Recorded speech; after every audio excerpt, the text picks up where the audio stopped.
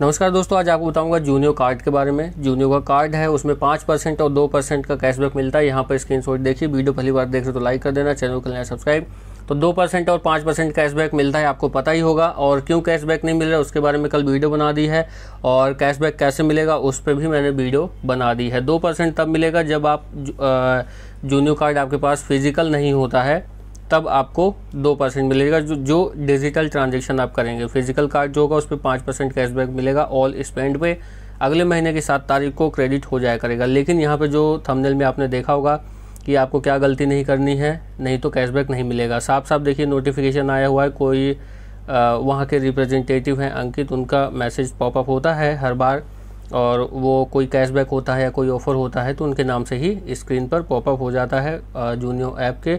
वहाँ पर आप जाकर के देख सकते हो। तो पेमेंट देखिए, इसमें लिखा हुआ कि अगर आप कोई पेमेंट इस तरह से करते हैं कि जिसका इंटेंशन यानी कि अगर आप सोच रहे हैं कि उसको मिस यूज़ कर सकें उस ऑफ़र को, या फिर मिस यूज़ तरीके से कुछ भी एक्स वाई जेड हो सकता है उसमें रीज़न तो अगर मिस यूज़ कर रहे हैं जूनियो कार्ड का, या फिर उनको लगता है कि इंटेंशन के साथ वो किया जा रहा है तो आपको ना ही दो परसेंट कैशबैक मिलेगा, ना ही पाँच परसेंट कैशबैक मिलेगा, और इस ऑफ़र के लिए आप एलिजिबल भी नहीं होंगे कि आपको कैशबैक मिले।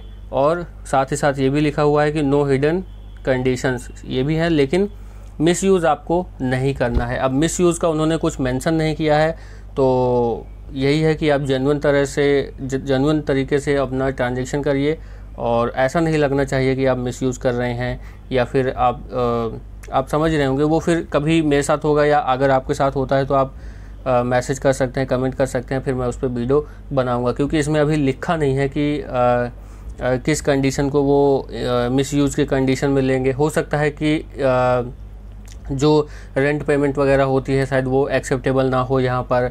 और ये भी हो सकता है कि कोई किसी किसी वेबसाइट में या तो वैलिड नहीं होगा, या फिर ये हो सकता है कि इस पर क्या ही कहूँ तो दो, यही दो रीज़न हो सकते हैं कि कोई ऐसी वेबसाइट जहाँ पर ये चलता ना हो, या फिर जहाँ पे इनका यूज़ करना हो और उनको बताया, बताना चाहिए इसमें जो नोटिफिकेशन आया है कि कहाँ पर यूज़ नहीं होगा, कौन सा मिस मिस यूज़ होगा उनका।